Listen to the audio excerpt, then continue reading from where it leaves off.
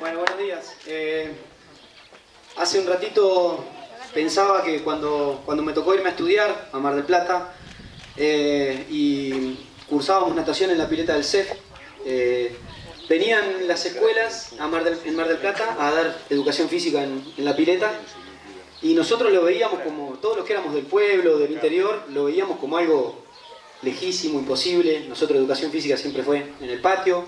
Hay varios profes acá que, que lo saben de, memoria esto y creíamos que era ampliamente necesario poder dar una clase de educación física, que tengamos el estímulo de natación.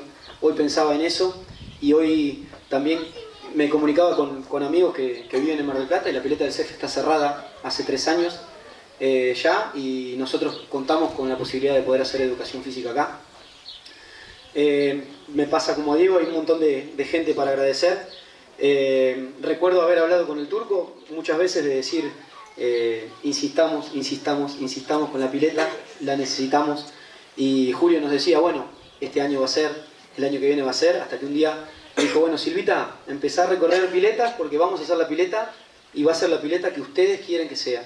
Nos reunimos con los profes, esto lo charlamos muchas veces, ustedes van a ver una pileta, la empresa, estamos eternamente agradecidos en tu nombre Alejandro, de las sugerencias que nosotros le dimos en cuanto a la rampa, en cuanto a los accesos, en cuanto a un cambiador mixto que, que nosotros creemos que es muy necesario para cuando viene una mamá con su nene o un papá con su nena y no puede entrar a ninguno de los dos vestuarios.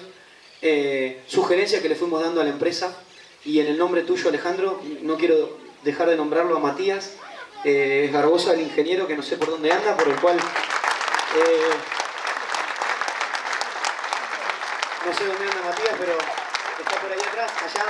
Eh, Matías fue el nexo, el nexo para nosotros con, con, la empresa y lo estuvimos molestando todo el tiempo, preguntándole, porque queríamos aprender todo el tiempo de qué se trataba la obra de pileta.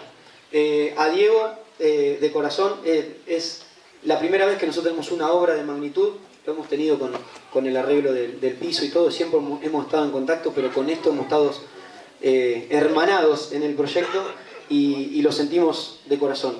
Eh, Julio, la posibilidad que nos diste a la Dirección de Deportes de poder elegir la pileta que nosotros teníamos y la decisión eh, política de que ningún chico pague por la pileta, de que ningún adulto pague por la pileta, de que ninguna persona que tenga una capacidad diferente pague por la pileta.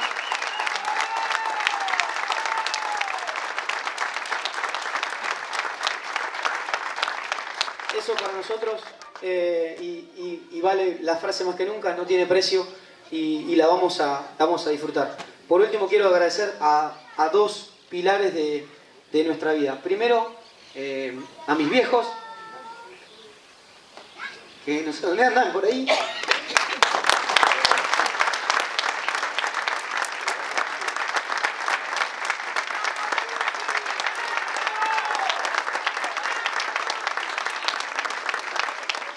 Eh, me mantuvieron estudiando cuando el país en el 99, en el 2000, se caía a pedazos y ellos empujaron esa parte.